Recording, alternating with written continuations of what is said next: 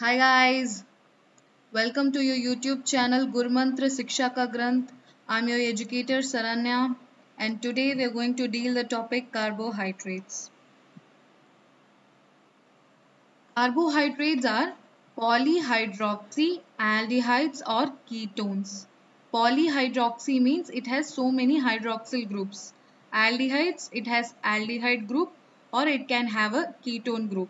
Okay, so this is the definition of carbohydrates. This definition describes the structure of a carbohydrate. It has polyhydroxyaldehyde or ketone. They are primarily produced by plants and form a very large group of naturally occurring organic substances. Some common examples are cane sugar, glucose and starch. They have a general molecular formula that make them appear to be hydrates of carbon. So this is the general formula of carbohydrates CnH2ON and it looks like you see this is water we can call them as hydrate and this is hydrate of carbon. From this only the name carbohydrate has been arrived.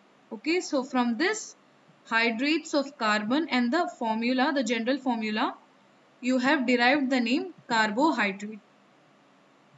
Carbohydrates are formed in the plants by photosynthesis from carbon dioxide and water in the presence of sunlight.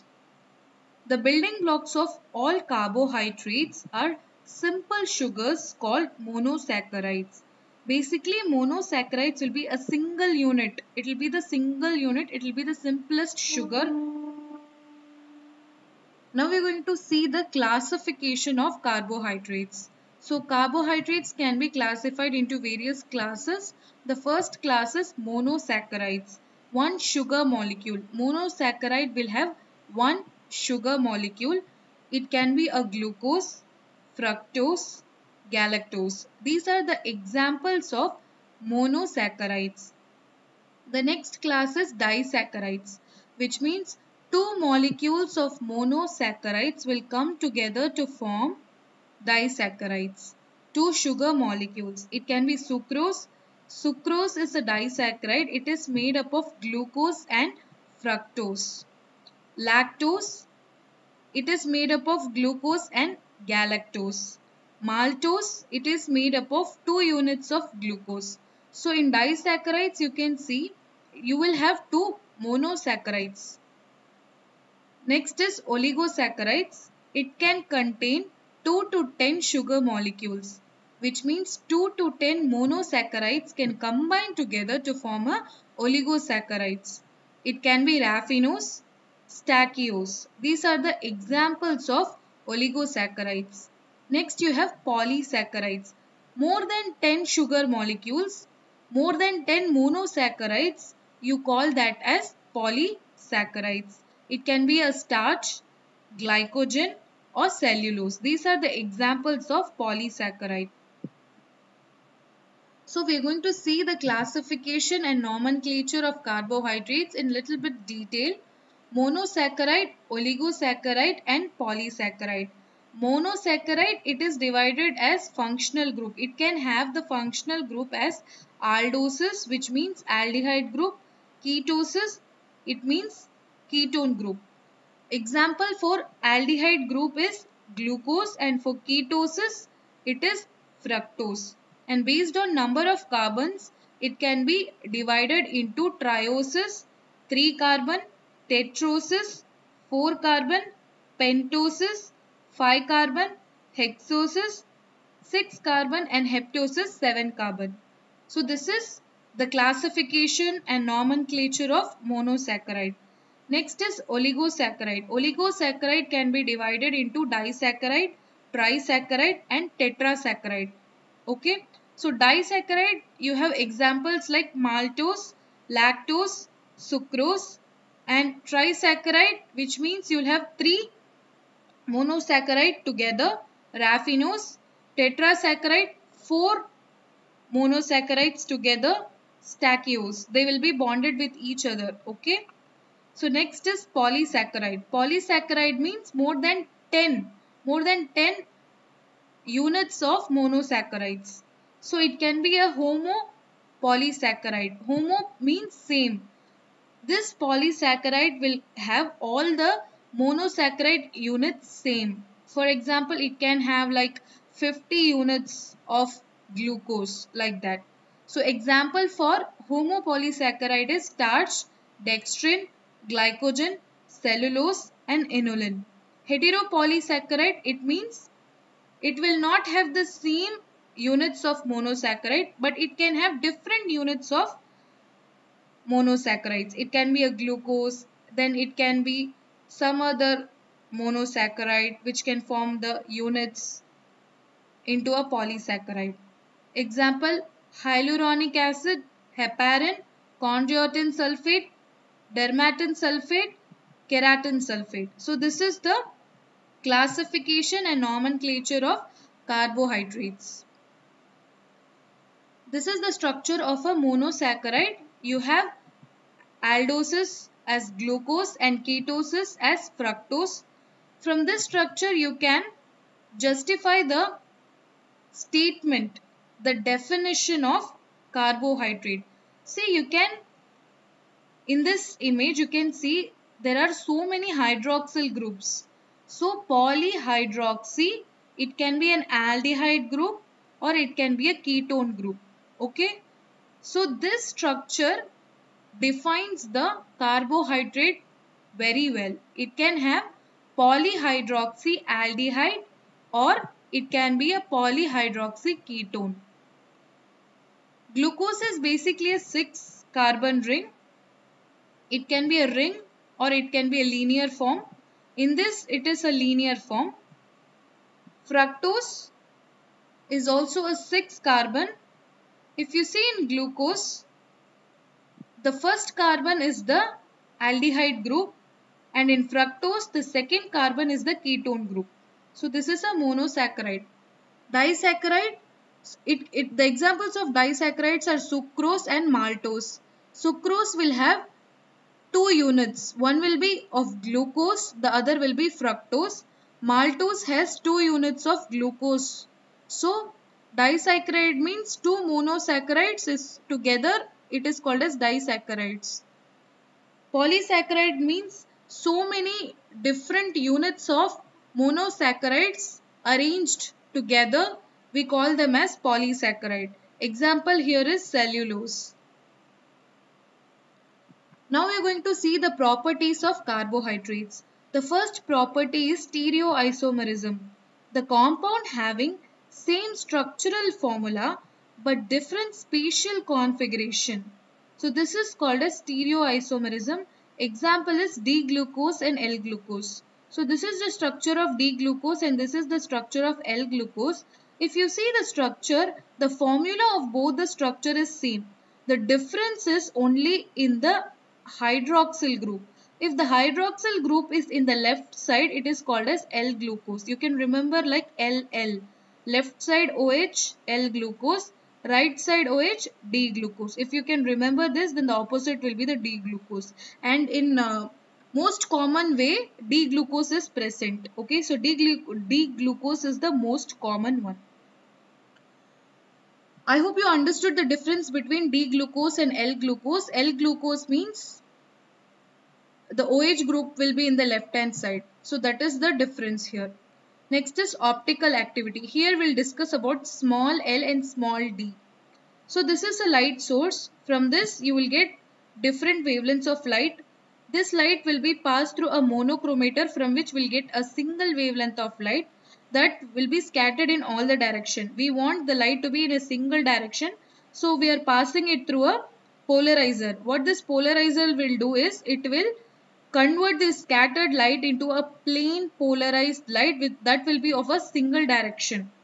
Now this plane polarized light will be allowed to pass through the sample and it when it passes through the sample the sample can rotate this plane polarized light in directions. It can rotate it in the left side or it can rotate it right side. If it is rotating it in the left side, we call it as anti-clockwise direction.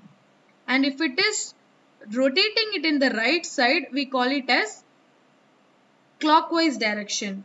So left is anti-clockwise that we call it as L-glucose, small L-glucose. Right is clockwise we call it as D-glucose. Okay, so here also you can remember like if the light is rotating in the left direction or anti-clockwise we call it as small L-glucose. Okay. So this is the difference between capital D and L and small d and L. Okay. Diastereomerism.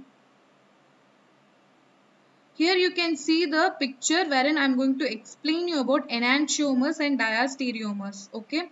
So enantiomers are nothing but these are molecules which are mirror image of each other but not superimposable. That is the definition. Okay. Mirror image of each other but not superimposable. Okay. You see this is the first image, first molecule. Here you see OH group here in the C2 carbon is right side and OH group in the C3 carbon is in the left side. Remember that, okay? In the second diagram, you see second molecule. Here OH group for the second carbon is in the left side which is opposite of this and in the C3 carbon it is in the right side which is opposite of this. Here you can see this image is a mirror. If you keep a mirror here this image is the mirror image of this image. Both these image are mirror images. If you see this image in a mirror, you will get this image. Okay. They are mirror images. But they are not superimposable. Which means if you keep this image on top of this image, you will not get the same structure. Right. Because here OH group is here and H group is here. So there is difference. So if you take this image and keep it on top of this molecule and both are of the same structure which means it is superimposable and if it is not same structure we are getting it is called as non-superimposable. So enantiomers are mirror images but they are not superimposable. This point you have to understand. Next is diastereomers. Diastereomers are this is a molecule and this is a molecule. Okay, we can call it as 1 and we can call it as 3. If you mirror image this, you will not get this because here both the OH group are in one side and both the H groups are in the other side. But here it is in opposite direction, right? So this is not neither a mirror image. If you keep this image on top of this, it will not superimpose. Therefore, this is not superimposable also. So not a mirror image, not a superimposable image that we call it as diastereomers. Here the common thing about all these enantiomers and diastereomers is that the uh, chemical formula is same. The chemical formula is same for enantiomers and diastereomers but their structure is different. Okay, so their structure is different. Enantiomers are mirror images but not superimposable. Diastereomers are not mirror images and not superimposable. That's it. You have to remember only this much. Next is epimers. Epimers are stereoisomers that differ in configuration of one single carbon atom. Okay, so this is the structure of a mannose, glucose and galactose. Okay, if you compare the structure of mannose and glucose, you can see the difference is only in one carbon atom. That is the second carbon you see in both of these. The hydroxyl group is left here and hydroxyl group is right here. That is the only difference between these two molecules. Okay, between mannose and glucose. That is called as C2 epimers. In the C2 position, there is change. There is a difference in configuration that we call it as C2 epimers. And if you see glucose and galactose, everything is same. Everything is same except the C4. Here the C4 carbon, its orientation and configuration is different in glucose and galactose. Here the in glucose the hydroxyl group is right and in galactose the hydroxyl group is in the left direction. So this we call it as epimers the structure will be same but only one carbon the orientation and the configuration will be different that is called as epimer. Remember mannose and glucose are C2 epimers, glucose and galactose are C4 epimers. They can ask you this question in examination. Now next we are going to talk about a topic wherein we are going to define alpha and beta D glucose. It's a very simple. This is a Fischer structure which means a linear structure and cyclization of this structure will lead to Haworth structure. Okay. Both these structures are same. Okay. These are same. The only difference is if this OH group is below that is called as alpha D glucose and if this OH group is in the same plane as CH2OH. If this OH group is near to CH2OH, we call it as beta D glucose. Remember this alone and alpha D glucose is opposite of that. Okay. Next is glycosidic bond. We are going to define glycosidic bond. You have a glucose molecule and you have a fructose molecule. You're going to combine these together to form a disaccharide that is sucrose okay so the C1 carbon of glucose here you have OH group and C2 carbon of fructose you have OH carbon. This OH and this H will combine together and form a water molecule and get removed. And it will get removed when the bond forms between two monomers two monosaccharides okay? So when the water is removed the bond is COC that is called as glycosidic bond. Okay, when the glycosidic bond has been formed between two monosaccharides we call it now as disaccharide and this disaccharide is called as sucrose because it is made up of glucose and fructose. Now we are going to see about polysaccharides a little bit about their properties cellulose, starch and glycogen. Starch is further divided into amylose and amylopectin. You should remember this because you will get questions from these. Okay. So source is cellulose is present in plant. Amylose and amylopectin is also present in plant. Glycogen is the storage in animal. Subunit you see here it is beta glucose. All the other are alpha glucose. Remember cellulose is beta glucose and the linkage it forms is 1,4. Beta 1,4 linkage is for cellulose. For starch it is for starch and in that amylose it is alpha 1,4. For amylopectin it is alpha 1,4 and alpha 1,6 because branching is happening in amylopectin. Amylose is a linear structure. Okay. In glycogen also it is alpha 1,4 and alpha 1,6 because there is linear as well as the branching. Linear will be there on that branching will be there. That is 1,6. Branches in cellulose? No. Amylose? No. Amylopectin? Yes. Per 20 subunits you will have a branching. Glycogen per 10 subunits you will have a branching. This is the diagram. You see this is beta glucose. Beta 1,4 glycosidic linkage you will have. So this is a diagram. Amylose alpha 1,4 glycosidic linkage. So this is alpha 1,4 glycosidic linkage and this is alpha 1,6 glycosidic linkage which forms a branching. Similarly for glycogen. Shape you see for cellulose the shape looks like this and for amylose it is something like spirals and for amylopectin it is branched and glycogen is highly branched. So this is a sum up of the polysaccharide. Okay. Remember Cellulose is beta 1,4 glycosidic linkage. Amylose is alpha 1,4 glycosidic linkage. Amylopectin is alpha 1,4 and alpha 1,6. Glycogen is alpha 1,4 and alpha 1,6. Okay. And branched is only amylopectin and glycogen. Now we are going to talk about hemiacetal. This tells us about the cyclization, how this linear molecule is getting cyclized. So this linear molecule of glucose we call it as Fischer projection and the cyclized form we call it as Haworth's projection. Okay. This, this is a molecule of glucose. 6 carbon you have. The first carbon is aldehyde group and you have to give special attention to This is second carbon, third carbon, fourth carbon and fifth carbon. You have to give special attention to the fifth carbon here. Okay, it has hydroxyl group. Now what will happen is, you see this picture. The fifth carbon has hydroxyl group.